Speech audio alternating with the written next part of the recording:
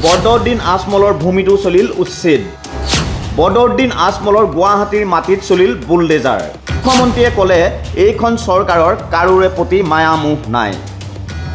উচ্ছেদ চলিছে আৰু চলিবই। গুৱাহাটী মহানগৰীৰ শিলশাকুত অব্যাহত আছে উচ্ছেদ অভিযান। এয়া চাওক এ ৱাই ডি এফৰ সভাপতি বদৰুদ্দিন আজমলৰ মাটিটো চৰকাৰে চলাইছে উচ্ছেদ অভিযান। মুঠতে শিলশাকু বিলৰ মাটি দখল কৰা কোনো এজনে পৰিত্ৰাণ নাপাব।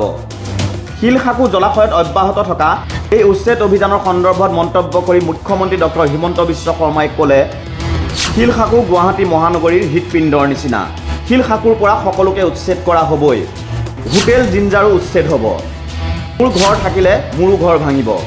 ছেটেলাইট ছবিত ধৰা পৰিছে দুহেজাৰ সাত চনৰ পৰাহে জনবসতি বাঢ়িছিল শিলশাকুত সেয়েহে শিলশাকু বিলক দখলমুক্ত কৰিবই চৰকাৰে।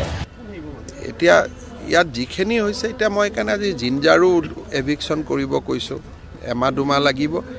লোকনায়ক অমীয় কুমাৰ দাস ইনষ্টিটিউশ্যনো মই উঠাই দিব কৈছোঁ। যাক য'ত লন টেনিছ কোৰ্টো মই উঠাই দিব কৈছোঁ। চবখিনি উঠাই দিয়ক। ইয়াত গভৰ্ণমেণ্টৰতো কাৰো প্ৰতি মৰম দেখুৱাবলগীয়া একো নাই। দুই ছেটেলাইট পিকচাৰে কয় দুই হাজাৰ নৰ পৰা পোন্ধৰ চনৰ ভিতৰত হৈছে। যিখিনি পিকচাৰ আছে আপোনালোকক মই দি দিম। একদম খালী আছিল। মাত্ৰ যোৱা ছয় সাত বছৰত ভৰি গ'ল। আছে তেওঁলোকৰো ল'ব দিছোঁ। বদৰুদ্দিন আজমলে কি কৰিব মাটিখিনি লৈ? ঘৰ বনাবতো নোৱাৰে। গতিকে আজি কোচ ৰাজবংশী সন্মিলনীৰ অফিচটোও মই ভাঙি দিব কৈছোঁ। তেওঁলোকক মই ৰাতিপুৱা ফোন কৰিছোঁ যে সহযোগ কৰক মই ভাল জেগাত অফিচটো বনাই দিম। আজমলৰ মাটিও আমি ল'ম। ইয়াত কোনো ব্যক্তি এইখন চৰকাৰৰ কোনো ব্যক্তিৰ প্ৰতি মায়ামোহ নাই। মোৰ ঘৰ থাকিলে মোৰো ঘৰ ভাঙি দিব। সেইটো মায়ামোহত থাকিলেতো কামেই কৰিব নোৱাৰিব।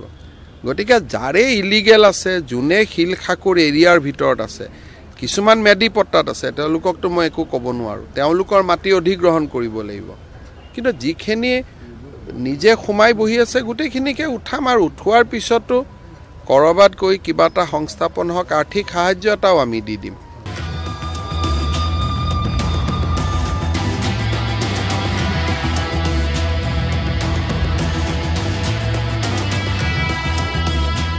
Bureau report time eight.